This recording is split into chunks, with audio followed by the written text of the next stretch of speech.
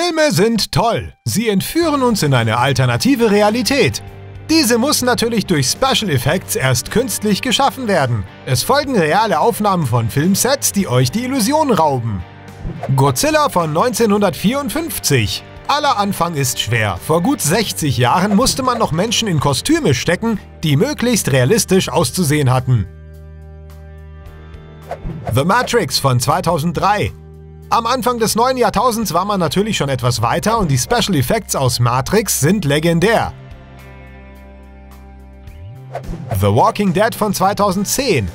Die Kultserie spielt in einer dystopischen Welt, in der Zombies fast die gesamte Menschheit ausgelöscht haben. Man of Steel von 2013.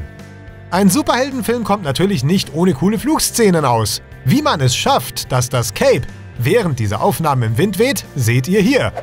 Life of Pi von 2012. Der Film spielt zu einem nicht geringen Teil auf dem Wasser. Um den Wellengang nachzustellen, wurde ein Boot auf einem Roboter montiert, der sämtliche Schwankungen nachstellen kann. Der Hobbit von 2011. Für die unglaublichen Landschaften, die Tolkien in seinen Büchern beschrieb, reichte halt leider manchmal nicht mal das Panorama Neuseelands aus, in dem der Film gedreht wurde.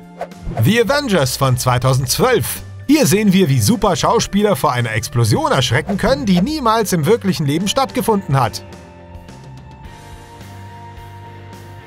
300 Rise of an Empire von 2014 Die Landschaft des antiken Griechenland wurde in einem recht klein wirkenden Green Room simuliert. Gravity von 2013 Der 3D-Weltraum-Thriller von 2013 wurde natürlich nicht im Weltall gedreht. Die spektakulären Bilder der Erdkugel wurden am PC erstellt. Der Herr der Ringe von 2002. Na geben wir es einfach mal zu. So schlimm sieht er im richtigen Leben gar nicht aus, unser geliebtes Gollum. Game of Thrones von 2013. Wir haben keine Ahnung, was die mächtige Khaleesi da streichelt, es erinnert aber eher an ein Eis aus Stoff als an einen mächtigen Drachen.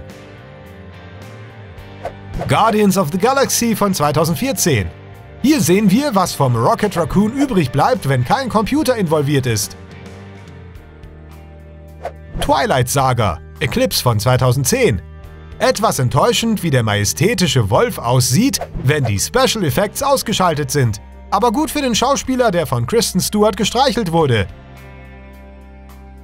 Welches Filmset hat euch am meisten verstört? Verratet es uns in den Comments. Liked das Video und abonniert unseren Kanal, wenn ihr das noch nicht getan habt.